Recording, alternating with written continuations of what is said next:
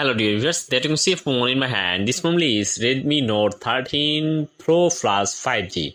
Now today I'll show how to turn on developer option in this phone and how to enable OME unlock and enable USB mode in Redmi Note 13 Pro Plus phone.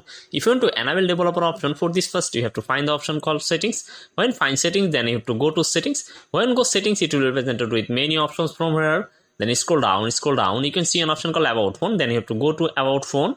When go about phone scroll down again you can see an option MIUI version then you have to click on it four times or five times and now your now developer option is now enabled then when enabled then you have to click on back and scroll down. You can see an option called additional settings. Then you have to go to additional settings. When go additional settings scroll down you can see an option called developer option. Go to developer option. When go developer option you can see many options from here and if you want to enable your OME unlock, you can see an option OME, OME unlock. You just turn it on and click enable and scroll down, scroll down. You can see an option USB debugging. If you want to enable USB debugging mode, you just turn it on this option and click agree and click on OK 7 seconds. So if you want to like this video, please subscribe my channel and enable developer option.